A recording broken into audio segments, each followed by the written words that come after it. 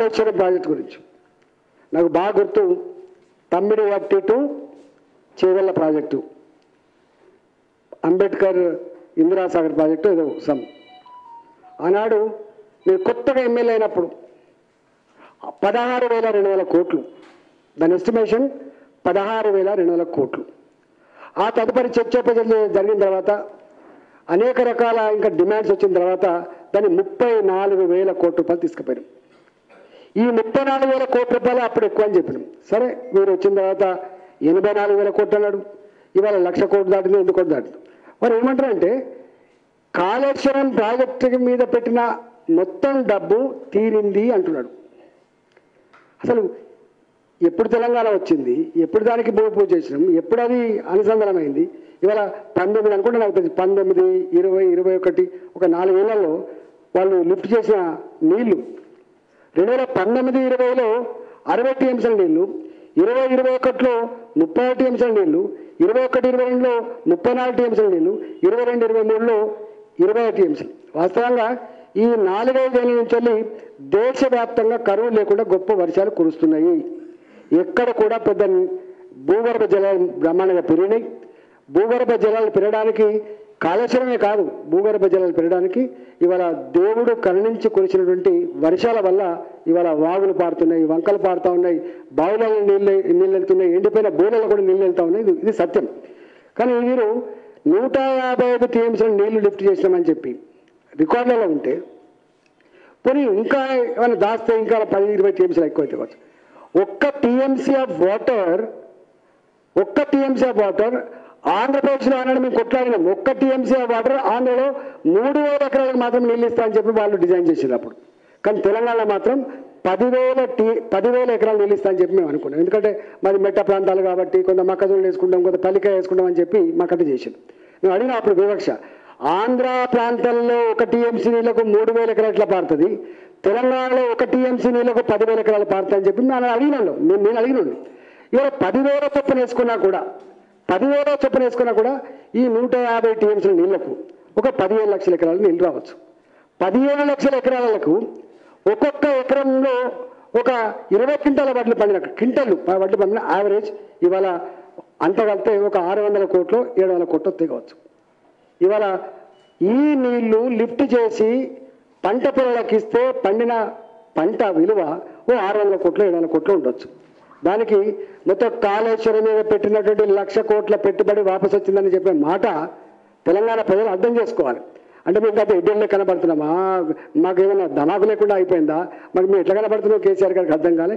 ఇవాళ అనేక మంది నిపుణులు చెప్తున్న మాట ఏంటంటే నిజంగానే కనుక కాళేశ్వరంలో మూడు టీఎంసీలు నీళ్ళు లిఫ్ట్ చేసి నూట ఇరవై రోజులు కనుక లిఫ్ట్ చేసి మూడు వందల అరవై టీఎంసీల నీళ్ళు కనుక పంటలకు పారిస్తే వచ్చే పంట కంటే కూడా కట్టాల్సిన కరెంటు బిల్లులు ఎక్కువైతాయని చెప్పి చెప్పింది మేము అనేకసార్లు చెప్పినాం.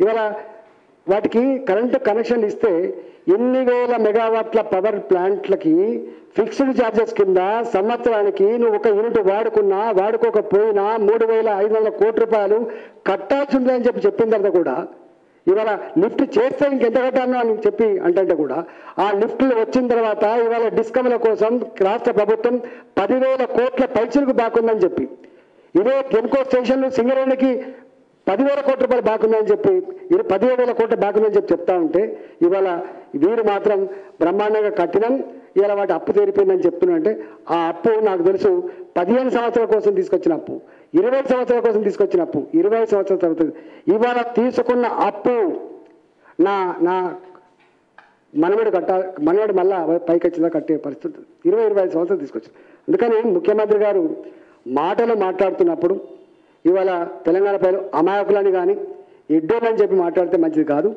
ఇవన్నీ కూడా తప్పకుండా ప్రజలు గమనిస్తారని చెప్పి మనం మనం చేస్తా ఉన్నా. మాట మాట్లాడితే నాది అప్కి సర్కార్ కిసాన్కి సర్కార్. నినాదం ఎంత గొప్పగా ఉంది. నువ్వు పోయి ఎక్కడో హర్యానాలో చెక్కులు పనిచేస్తున్నావు ఎక్కడో పంజాబ్లో పోయి చెక్కులు పనిచేస్తున్నావు ఎక్కడో మహారాష్ట్రలో పోయి తెలంగాణ రోల్ మోడల్ మీకు అందిస్తా అని చెప్తున్నాం ఇక్కడ మొన్న మీరు పంట నష్టం పోయినప్పుడు ఏ లీజు ఫార్మర్స్ అయితే కౌలు రైతులైతే నువ్వు ఆనాడు పంటలు నష్టపోయి కన్నీరు మున్నీరు అయితే అయ్యో మీకు ఎన్ని బాధలు అని చెప్పి నువ్వు సానుభూతి ప్రకటించినావు కదా? ముప్పై ముప్పై ఐదు శాతం రైతాంగం కౌలు అని చెప్తున్నావు కదా? మరి ముప్పై ముప్పై శాతం రైతాంగానికి నీ నీ రైతు బంధు రాదు నీ రైతు బీమా రాదు నీ పంట నష్టపరిహారం కూడా రాకుండా ఇవాళ వాళ్ళ వాళ్ళ బతుకులు ఎట్లయితే చూడండి ఇవాళ రాష్ట్రంలో ఆత్మహత్యలు చేసుకున్న రైతులంతా కూడా కౌలు రైతులు ఎక్కువ గుర్తుపెట్టుకోండి. ఇవాళ కౌలు రైతులకు ఏమి ఇస్తారు మనం మొత్తుకున్నాం మేము. ఈ చేతిలో ఐదు వేల రూపాయలు ఇచ్చినావు. రైతు బంధు పేట ఇంకో చేత ఆ ఇరవై క్వింటాల్లో ఇరవై ఐదు క్వింటాలు అమ్ముకొచ్చుకుంటే ఐదు వేల రూపాయలు పోయినాయి. రైస్ మిల్ దగ్గర పోయినాయి. ఎనిమిది కిలోలు తొమ్మిది కిలోలు పది కిలో కట్ చేసింది అట్లా. రైతు మొత్తుకున్నారు. ఈ రైతు బంధు వద్దు మాకేమొద్దు. మాకు పండిన పంట కొంట చాలు. అవసరమైతే పండిన పంటకు పక్క రాష్ట్రం ఇచ్చినట్టుగా ఎంఎస్పీ కంటే ఒక రెండు వందల రూపాయలు ఐదు వందల రూపాయలు ఎక్కువ ఇవ్వండి. అందరి పంట పండించడం లాభం జరుగుతుందని చెప్పి అంటున్నారు. నేను కూడా ఇవాళ డిమాండ్ చేస్తా ఉన్నా. ఈ కౌలు రైతుల విషయంలో నీకు వాడు చనిపోతే బీమా సౌకర్యం రాకుండా చనిపోతే ఏ లాభం లేకుండా ఏదవుతుందో దాని మీద నీ సమాధానం చెప్పగలమని చెప్పి అడుగుతా ఉన్నా. తెలంగాణ ప్రజలారా ఇవాళ మన సొమ్ము తీసుకుపోయి హర్యానా పంచుతాడు మన సొమ్ము తీసుకుపోయి ఎక్కడో ఖర్చు పెడుతున్నాడు కానీ ఇక్కడ చచ్చిపోయిన కౌలు రైతుల శివాల మీద మాత్రం ఐదు వేల బిలియన్ దౌర్భాగ్యపరుస్తున్నది ఇక్కడ పండించిన పంటకు కొనే లేక ఇబ్బంది పెట్టే పరిస్థితున్నది ఇవాళ రైతు బంద్ వచ్చిన తర్వాత అన్ని బంద్ అయిపోయినాయి ఇక. ఒక్క రైతు బంద్ ఇచ్చి అన్ని బంద్ చేసిండు. మీ ఊళ్ళలో ఇంతకుముందు తారపల్లి వచ్చేది మాకు సీజన్లో. పవర్ స్ప్రేలు వచ్చేది మాకు. హ్యాండ్ పంపులు వచ్చేది మాకు.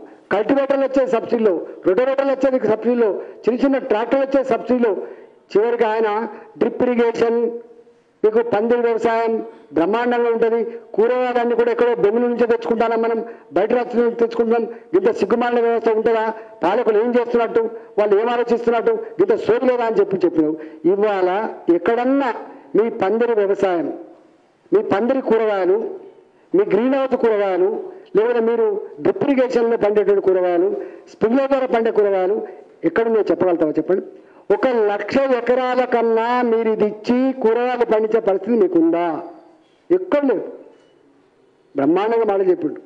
ఇంకా వాళ్ళని ఇవన్నీ ఇచ్చిండు ఇవాళ ఈయన మాటలు నమ్మి గ్రీన్ హౌస్ కల్టివేషన్ చేసుకుంటే వాళ్ళు పందిలు వేసుకుంటే తొంభై శాతం సబ్సిడీ అని చెప్పి డబ్బులు రాక అప్పుల పాలై ఆత్మహత్య చేసుకున్నారు గుర్తుపెట్టుకోండి. ఇవన్నీ లెక్కలతో సహా సందర్భాలు చెప్తా. కానీ ఇవాళ మాత్రం ముఖ్యమంత్రి గారికి ఒకటే నేను ఇప్పటికైనా భూమి మీదకి రా. ప్రగతి భవన్లో పడుకుంటే పడుకున్నావు. ఫామ్ పడకుండా పడుకుంటే పడుకున్నావు కనీసం నీ అధికారులు నీ మంత్రులు ఇట్లాంటి వాటి విషయంలో కొంచెం దృష్టి పెట్టండి. ఈ సమస్యను పరిష్కరించే ప్రయత్నం చేయండి. నీకు తెలియదు ఆ కష్టం అంటే నీకు తెలియదు ఇవాళ ఈ గెస్ట్ లెక్చరర్స్ అయితే కన్నీరు మున్నీరు కాబట్టి తక్షణమే ఇలాంటి వాళ్ళ సమస్యలు పరిష్కరించండి అని చెప్పి భారతీయ జనతా పార్టీగా మేము డిమాండ్ చేస్తా ఉన్నాం. వాళ్ళ సమస్యకు పూర్తి సంఘీభావం ప్రకటిస్తా ఉన్నాం.